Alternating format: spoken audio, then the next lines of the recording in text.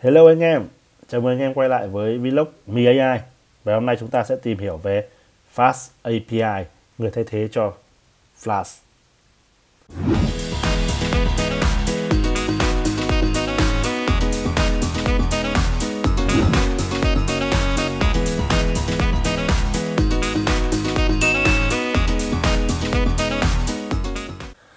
Rồi, uh, cũng đã rất lâu rồi uh, mình mới có thời gian để chúng ta làm lại một cái clip uh, ở trên kênh YouTube. Đúng không? Mình có uh, viết một số bài ở trên uh, ở trên trên blog đó. vì mình tranh thủ là những thời gian mình rảnh rỗi rồi những lúc mà di chuyển uh, thì mình uh, typing và mình viết các bài được. Thế nhưng mà làm YouTube thì nó sẽ phải uh, có thời gian, có không gian. Đó thì hôm nay chúng ta sẽ quay lại với chuyên mục mì úp với uh, khái niệm mới về Fast API. Đó. Thì đợi một chút để mình mở cái này. Rồi. Thì uh, uh, ok chờ một chút. Rồi. Rồi. Thế thì Fast API anh em nghe tên đã biết rồi, nó là một cái API nhanh, đúng không? Fast API. Đúng như tên gọi của nó thì nó cho phép chúng ta viết các cái API rất là nhanh và nó mình có test thử thì mình thấy là nó nhanh và tiện dễ dàng uh, dễ quản lý lỗi uh, dễ xử lý lỗi hơn là là thằng uh, Flash trước đây. Thì uh, nếu mà anh em nào mà chưa biết là vì sao phải cần API thì thôi mình cũng nói qua uh, một chút đi. Về, về vì sao phải dùng cái uh, uh, Flash API oh, chờ mình chút nhé mình mình uh, cài lại phần mềm này đã rồi. Vì sao phải phải phải dùng uh, Flash API đó. thì uh, chúng ta phải dùng Flash API để làm gì? Uh, ví dụ bạn uh, à, quên mà chúng ta phải dùng API để làm gì? Đó, vì sao phải dùng API ở trong lập trình Python lập trình uh, Deep Learning lập trình uh, Machine Learning? Đó thì bình thường ví dụ các bạn tưởng tượng bạn code ra một cái ứng dụng uh, bạn có một ứng dụng uh, đây ứng dụng uh, ôi sorry mình ờ, chưa tháo đây à. Bạn cốt ra một cái ứng dụng đúng không? Uh, ví dụ như nhận diện khuôn mặt uh, hay nhận diện đồ vật và chạy Python đúng không? Python. Ok. Đó thế thì bạn cốt ở trên cái dòng lệnh uh, dòng lệnh kiểu như là uh, chạy trong PyCharm chạy trong VS Code hoặc là chạy trên Sublime Text vân vân thì bạn không thể nào bạn cung cấp cho người dùng để họ dùng được. Người dùng họ không thể nào mà bảo họ là mỗi lần mà uh, muốn dùng phần mềm của tôi thì ông phải uh, uh, chạy câu lệnh phải start cái môi trường Anaconda vân vân bla bla đó thế thì chúng ta sẽ không làm như vậy. Thì chúng ta sẽ dùng cái phần Python để chúng ta expose ra một cái API đó, gọi là API đó, API sau đó chúng ta viết cái uh, giao diện uh, frontend nha viết diện frontend cho Ồ, cái chuyển màu ở đâu nhỉ? Mình không biết được. Viết giao diện frontend cho người dùng.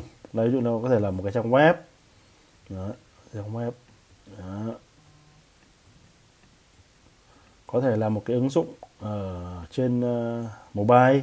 Đó vân vân. Thì cái này tùy vào chúng ta. Và chúng ta sẽ gọi vào cái API ở trên này đó. Ví dụ như trên website chúng ta upload một tấm ảnh lên chúng ta gọi vào cái API nhận diện khuôn mặt ở trong cái backend này để nó trả ra kết quả đây là ờ, người ấy là người nào tên tuổi họ tên là sao. Hoặc trên mobile khi ta chụp một hình vật ví dụ một cái bóng ta gọi vào cái API uh, ờ, nhận diện uh, object detection chẳng hạn thì nó sẽ chỉ ra chúng ta là trong bức ảnh hay bóng nó ở đâu. Đó. Thì tóm lại là chúng ta cần API để chúng ta expose cái Ờ, uh, model chúng ta sang các giao diện bên ngoài như web như mobile. Đó lý do chúng ta chúng ta cần cái cái cái mobile. Ok. Rồi. À, mình clear screen cả. Rồi ok.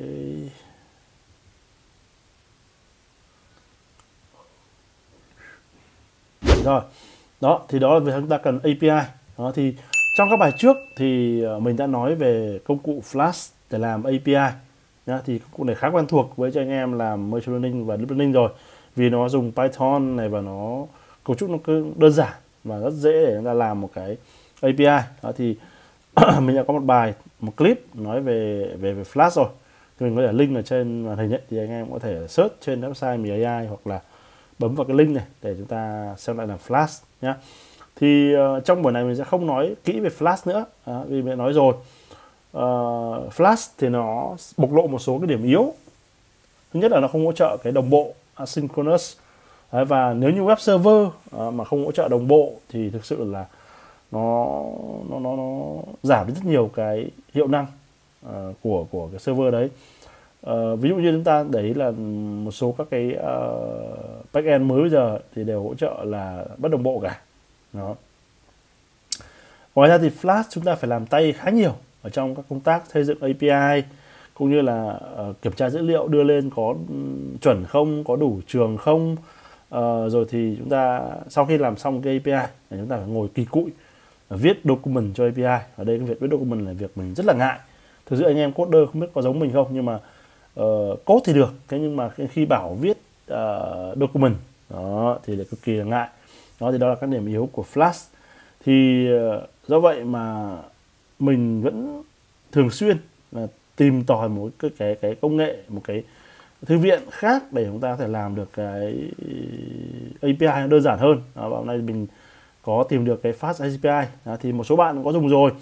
Nhưng mình thì mình uh, mới dùng nên là mình cũng muốn là làm một clip chia sẻ để hy vọng là bạn nào cũng đang tìm cái giải pháp thì có một chỗ để chúng ta uh, biết được cái keyword để chúng ta search nhé thì cái slide này à, cái cái bài hôm nay thì mình không kỳ vọng là dạy toàn bộ các bạn về Fast API mà mục đích là chia sẻ là à awareness các bạn là có một cái uh, thứ như vậy để các bạn ừ, có keyword để các bạn tìm hiểu và các bạn uh, triển khai cho các cái giải pháp của các bạn nhé. rồi thì uh, Flash nó có một số điểm yếu như vậy thì uh, Fast API nó sẽ khắc phục được những cái gì.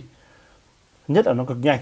Đấy, các bạn theo cái uh, cái cái cái uh, bảng mà bển tây lông họ tổng kết đó thì mình thấy là Fast API đứng đầu trên cả tất cả nhiều thứ khác. Đây là thứ 9 này là Fast Raw này là đứng thứ 9 còn là Fast API là đứng thứ nhất nó rất là nhanh. Nó tương đương với Node.js và Golang. Đó đây là theo nước ngoài họ nói. Thứ hai là nó hỗ trợ uh, bất đồng bộ à, asynchronous cái này bạn nào lập trình uh, Node.js thì sẽ biết về cái món này. Đó, nó sẽ uh, tóm lại là nó không bị uh, các cái hàm nó chạy nó bất đồng bộ nó nó không bị stuck nó không bị không bị dừng lại. Uh, uh, khi mà đang thực thi cái lệnh ừ, trước thì nó dẫn đến là nó sẽ uh, không bị kiểu như khi mà nhiều cái uh, request nó đến cùng một lúc thì nó không bị treo cái server của chúng ta nó không gây chậm. Đó rồi thì nó đặc biệt là nó hỗ trợ chúng ta là kiểm tra cả dữ liệu người dùng submit lên bằng cách là kết hợp với cái thư viện là Pedantic. Nó rất là tiện và nó uh, bạn thấy sẽ kiểm tra và lấy thông tin rất nhanh. Uh, tí mình sẽ demo các bạn một chút về cái đó nhá. Rồi cái hay nữa là nó tự động sinh ra document. Đó, rất hay này. Sau khi mình mình viết một cái API bằng fast API xong thì mình có thể là hoàn toàn là uh, có một ngay một cái document và uh, các lập trình viên ờ, uh, frontend có thể dễ dàng là nhìn vào cái document đó và biết được là chúng ta uh, cái cái hàm đấy thì phải gọi thế nào và nó nhận vào input output ra làm sao. Đó rất là tiện nha uh, rồi thì đây thì mình có để link những cái clip flash của mình đây. Thì bạn nào mà nếu chúng ta làm một cái hệ thống thực sự nó rất simple nó rất đơn giản mà bạn đã quen với cả flash rồi thì cũng có thể dùng flash được nhá. Tuy nhiên bạn có thể thử đi cả thử cả fast API nó biết đâu lại nghiện. Đó thì fast API là một con tàu rất nhanh siêu tốc rất nhanh. Và chúng ta nên uh, trải nghiệm nó nhá. Thì mình nói qua phần gọi là intro như vậy rồi bây giờ mình sẽ thử. Đây. Thì bạn thấy đây là một cái hàm một cái à, đây đây là một cái à, file ở flash thông thường mình hay làm. Đó có một cái là home một cái là summit đó để cho hai cái root khác nhau đúng không thì uh, cái này thì là một cái khung rất chuẩn của flash rồi sau khi mà, để dùng flash thì trong cái clip trước mình đã nói rồi bạn sẽ cài là pip install uh, flash à, rồi thì uh, flash core đấy, tùy vào nhá đó. rồi đó. hai thư viện này là mình sẽ dùng được flash đây mình đã cài rồi đó thế thì đây là một cái cái cái um, cấu trúc cơ bản của Flask gồm một cái root là root home một cái root là root à, uh, submit để chúng ta ờ, uh, submit dữ liệu lên đúng không?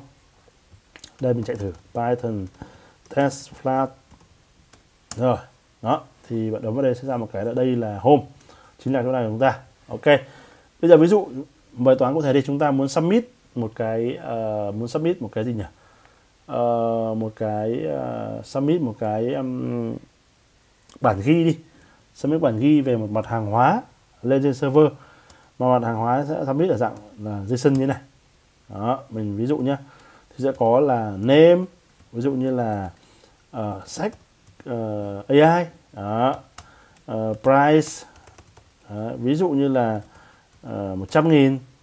Đó rồi thì uh, ready có sẵn sàng trong kho hay không thì là sẽ là không là hết rồi mà một là có hàng. Ở đây đấy ví dụ thế. Đây chúng ta submit một cái ờ, uh, JSON lên như này. Đây mình comment vào nhé mình ví dụ thôi. Đó. Thế thì ở bên uh, ở bên ở bên uh, Flash chúng ta phải làm như nào? Chúng ta phải như này. Chúng ta phải khai báo ở thư viện là im from Flash import request. Sau đó chúng ta gắn là uh, request một cái biến uh, JSON đi. Uh, bằng request chấm JSON để chúng ta chuyển cái request sang dạng JSON. Sau đó chúng ta lấy gì? Name uh, name bằng uh, request JSON name rồi price bằng request JSON price Đấy. xong rồi uh, ready bằng request JSON ready. Rồi. Đó sau đó chúng ta phải thực hiện là kiểm tra. Nếu mà name mà nó not known uh, ờ, nếu not đi hạn là not ờ, uh, name uh, ờ, is none thì đó nếu mà name is none thì chúng ta phải uh, phải return đó, là thiếu name đó rồi thì nếu mà uh, price is none thì là thiếu price vân vân chúng ta phải uh, liệt kê tất cả những cái biến đây và chúng ta phải uh, lấy giá trị của nó và kiểm tra. Sau đó cuối cùng mới là bước chúng ta insert vào cơ sở dữ liệu đúng không? Cơ sở dữ liệu. Rồi ok. Đó, bây giờ chúng ta thử uh, đây thử là xếp thành công nhá. Xếp thành công. Được chưa? Ok chạy thử nào. Ok không lỗi. Bây giờ mình sẽ dùng cái uh, postman để mình thử cái hàm flash này. Uh, postman. Rồi.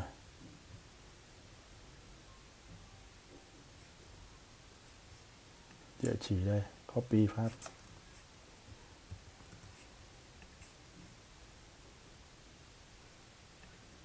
mình đóng mấy cái mình ờ, đang ờ, test thật rồi nhá. À, đây, đây, đây. rồi. Chưa? Ví dụ hàm à, post này đúng không? Post này. Và submit. Rồi body của nó sẽ là dạng raw và json. Mình sẽ submit lên là như này. Bỏ cái dấu ờ, ngoặc ngoặc này đi. Rồi submit thử cái nào úi trời ơi lỗi rồi name price ready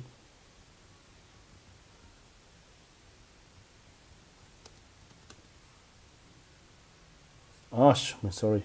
Rồi. Đó. Chúng ta lại giờ ta khởi động lại server này. Ờ, send này. Đó, xếp thành công. Chưa? Vì đủ hết rồi. Ví dụ như ta thiếu cái price ha. sen Đó, ngay lập tức là error vì làm sao? Vì nó không lấy được cái gì price trong cái uh, cái này. Đó, thì nó còn chưa chạy đến câu năn cơ mà nó lỗi luôn ở cái cái cái cái câu này đúng không lỗi luôn ở câu này vì thiếu cái tham số price ở trong cái uh, season mình chuyển lên thế thì làm sao chúng ta làm sao chúng ta phải phải if đấy đây phải if if là cái uh, tức là mình mình không viết ở đây nhé if mình phải if là cái requestation này nó có cái key là price thì chúng ta mới lấy. Còn nếu không có thì không lấy. Nói chung là phải làm rất nhiều các bước kiểm tra. Liên quan đến cái này uh, trước khi chúng ta xếp vào trong cái uh, cái cái cái uh, dữ liệu của chúng ta được. Đó là là flash đúng không? Rồi đấy thì đó là cách chúng ta phải làm việc với flash chúng ta đã làm rất nhiều những cái này. Bây giờ thì chúng ta làm việc với uh, fast API thì nó sẽ như nào? Đây mình có một cái file viết sẵn rồi đây. Uh, mình sẽ uh, viết lại đi cho các bạn dễ hiểu nhá. Đó đây cái flash này thì mình không nói mình viết sẵn luôn vì là nó đã nói trong cái clip hôm trước. Còn bây giờ mình sẽ viết một cái là về flash API nha demo. Rồi mình sẽ làm cái demo uh, fast API fast API ok. Đó thì như mình vừa nói để chúng ta có thể là chạy được thì chúng ta phải pip install fast API đó, và fast install uvcon đó. Thì API là gì và uvcon là gì? Thì đây mình có trên slide đây.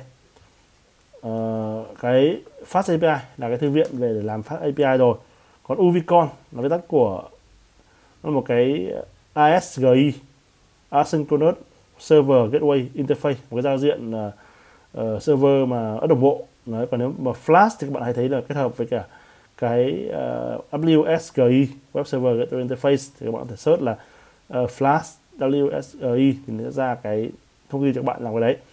Đó còn là với Fast API thì chúng ta dùng UVCon là một cái ASGI uh, server nhé Asynchronous Server Gateway Interface.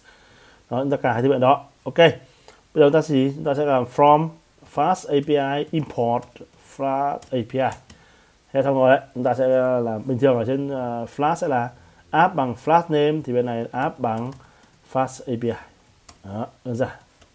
Rồi. Bây giờ chúng ta viết cái hàm uh, get trước này. Đây. Đó. Đấy thế thôi ở bên Flash thì là chúng ta phải là gì? Chúng ta phải app root method rồi ờ, home các thứ cũng khá tương tự. Đó. Thì bây giờ chúng ta sẽ là đây app get và app post ở đây luôn. Ví dụ ở đây mình muốn là post thì sẽ là app chấm post đó, app chấm put app chấm gì gì đó. Rất nhiều cái uh, delete này. Đó. thì chúng ta muốn method là gì? Chúng ta chỉ cần chấm ở đây. Chấm get. Ok chưa? Rồi. Đây là trang hồ xong rồi. Đấy, vì thế ngắn gọn rất nhiều với flash không vẫn phải viết rất nhiều thứ nhưng mà đây xong rồi. Bây giờ mình chạy thử nhá. Thì để chạy thử ấy thì mình sẽ dùng cái lệnh là uvcon đó xong rồi tên file là demo fast api 2 app. Uh, enter. Đó xong rồi. Nó chạy ở cái địa chỉ 80.000 bấm vào thử này. Đó đây là home. Đúng không? Đã trả về cái chữ đây là home. Chính là trả về này. Đó rồi ok như vậy đã xong một cái API get cho đây là home nếu mình để đây là post Đó, sau mình Ctrl C chạy lại này. Thì chắc chắn là quang tèo. Đấy method not allowed không cho phép truy cập. Đây là là mình là post. Nó chuyển thành get ok. Rồi bây giờ chúng ta sẽ viết lại cái hàm uh, submit dữ liệu này ở bên ờ, ở bên uh, bên bên bên uh, phát API nhá. Nào bắt đầu. Đây là hàm gì? Hàm post. Chúng ta post rồi và cái root của nó sẽ là submit ok. Rồi. À đây mình để ý một chút đây là có hàm có cái tính async nhé async để nó bất đồng bộ này. rất là hay. Nó tăng tốc rất nhiều. Đây submit rồi. Mình có return tạo một câu đã là um, xếp thành công. Đó làm thử một cái. Nó như nào? Chạy nào. Ok bây giờ và chúng ta để test post thì chúng ta phải vào trong postman. Thử dễ. Đây được chưa? Submit và submit thử. Rồi đã trả về xếp thành công. Như vậy chúng ta đã ok đã có xây công rồi. Thế thì bây giờ chúng ta uh, sẽ làm gì? Chúng ta sẽ lấy thông tin của cái mặt hàng ra. Như bên này này. Đó đấy. Chúng ta sẽ sẽ sẽ ghi vào dữ liệu đúng không? Thì uh, ở bên ờ, flash chúng ta làm từng tí một như này bên này chúng ta chỉ cần from ờ, uh, pedantic pedantic thì các bạn cài bằng lệnh là pip install. Thiếu gì cái đấy thôi pedantic thấy không? Không chưa? Import base model. Đó. đó để chúng ta viết dựa vào cái đấy ta viết ra một cái lớp là như là class my item my item. Đó. À, đấy. Lấy à, thừa kế từ base model đó, sau đó chúng ta sẽ viết một số cái như là ờ, uh, name là kiểu string rồi uh, ờ, um, uh, ờ, gì nhỉ? Price là kiểu float. Đấy, ready. Đấy, kiểu in vân vân. Đó thế thôi chúng ta khai báo model như vậy. Thì ở đây chúng ta chỉ cần đơn giản là chúng ta yêu cầu là truyền vào một cái là tên item và kiểu là my item được chưa? Nó tự hiểu là đây là chúng ta uh, post lên. Và chúng ta chỉ cần là chúng ta if item chấm ờ, uh, print print đi. Print nhé ra print là này. Item uh, chấm rồi nhá. Để chúng ta xem là nó trả ra cái gì. Rồi. Quên. Đây. Rồi. Submit này xếp thành công. Đây chúng ta xem này. Name bằng sách AI price bằng 10 value bằng 0 đó rất hay. Bây giờ mình xóa cái price đi. Send lập tức nó báo ngay kết quả là thiếu cái uh, price. Đấy, và message trả về rất là hoàn đầy đủ. Đó, thì người dùng sẽ biết ngay là à ok như vậy là tôi bị thiếu trường price chứ không báo lỗi nhoằng cái như bên bên uh, bên bên bên um, uh, bên bên bên gì bên bên flash. À, thấy không? Đó bây giờ mình trả lại price nó mình thiếu cái trường ready đi. À. chết ngay thiếu ready. Đó. Thế còn nếu bạn muốn nó là optional à, optional đúng không? Optional đây mình xem lại cái. Rồi. Mình cho in bằng không. Nếu mà không ai gửi lên dữ liệu ready thì mình mặc định là ready bằng không, đúng không? Thì ngay lập tức chúng ta thấy rằng chúng ta có thể có quyền xóa ready đi, vẫn chạy bình thường. Đấy, xếp thành công. Và giá trị được án là name bằng sách price bằng một ready bằng không. Yeah. bạn thấy là chúng ta rất dễ dàng chúng ta kiểm tra gọi là validation được cái dữ liệu người dùng truyền lên. Truyền mà thiếu là lập tức nó trả về chúng ta cái lỗi ngay lập tức. Đó, đây, thiếu price này. Đấy đây có sai chính tả này. Đó. Đây thiếu trường fill require trường body. Đó thấy chưa? Thì chúng ta thấy là nó rất là tiện lợi. Đấy, và ngoài ra chúng ta có thể là uh, dễ dàng lấy giá trị ra này. Bây giờ muốn print item chấm name. Đấy, thế là ra. Đây mình thử này. Hoặc là mình return đi return item chấm name luôn. Đó. Rồi thử này à đang thiếu trường. Sorry mình ờ, cho nó đủ trường đã. Rồi. Đấy nó trả lời sách chấm ai bên flash thì chúng ta phải gì? Phải đổi thành registration lấy key ra và phải kiểm tra xem key này có đủ hay không. Nếu mà có key thì mới lấy ra và nếu mà không bị năn thì chúng ta mới uh, in ra chẳng hạn. Đấy thì bên này chúng ta chả làm gì cả. Chúng ta chỉ cần yên tâm là nếu như chúng ta đã khai báo một cái my item ở trên này thì dữ liệu người dùng mà không đủ ấy thì tự thằng Fast API nó xử lý với người dùng rồi. Như vừa nói ấy, thì nếu chúng ta đã khai báo một cái model ở trên này. Đó thì thằng Fast API nó sẽ tự làm cái việc mà validation cho với với với người cả các cái uh, giá trị của cái model đó các cái uh, thuộc tính của model đó. Chúng ta không phải làm gì khác chúng ta chỉ việc uh, chờ nó uh, validate xong rồi chúng ta uh, viết các cái hàm sử dụng các thuộc tính ở trong cái uh, thân hàm này thôi. Uh, chúng ta rất là nhàn đó và một cái điểm nữa mình thích ở cái thằng Fast API như vừa nói lúc đầu đó là nó sinh ra được cái document là chúng ta chỉ cần gõ là địa chỉ server như thế đúng không? Thêm một cái là docs. Rồi. Nghe chúng ta có một cái bản doc nó cái này rất là hay này. Nó mình thường mình rất lười viết doc. Nó ở đây mình có nó viết hộ mình. Đó thì chúng ta sẽ thể là biết được là hàm uh, root thì chúng ta không phải truyền gì cả. Chúng ta có thể là uh, lấy thông tin ra còn cái hàm submit thì chúng ta nhìn thấy biết là à chúng ta sẽ phải uh, try it out này. Đó, chúng ta sẽ phải truyền vào request body là một cái JSON như này có kiểu là string kiểu không này. Và cái kết quả trả về thì ta sẽ thực hiện ngay lập tức. Ví dụ em mình truyền vào là MacBook Pro 2020 uh, ờ, giá là 50 củ đi. Đó. Rồi và nhấn uh, execute. Đó thì ngay lập tức nó sẽ hiển thị cho chúng ta cái ờ, CURL cũng như là cái uh, request và cái response.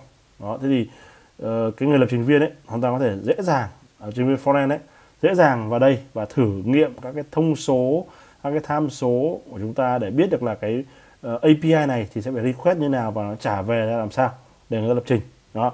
Thì mình thấy là tóm lại là Fast API có mấy điểm mà khá hay. Thứ nhất là nó um, nhanh. Hỗ trợ bất đồng bộ ờ, async viết code ngắn gọn hơn và nó hỗ trợ chúng ta công tác uh, uh, validation rất là tốt. Đó. Uh, thì mình vào cuối cùng là nó có auto document tự động viết document cho chúng ta. Chúng ta không phải viết nữa. Đó thì mình chắc chắn là phát API API sẽ là cái sự lựa chọn của mình trong cái lần tới mình viết các cái API cho các hệ thống uh, trong thực tế của mình. Thế còn các bạn thì tùy vào cái sở thích cũng như là cái thói quen. Đó thì các bạn nếu mà có ý kiến gì uh, chia sẻ thì bạn hãy comment ở bên dưới cái clip này của mình nha rồi có bây giờ thì xin tạm biệt anh em và hẹn gặp lại trong các clip tiếp theo của kênh vlog mì AI bye bye.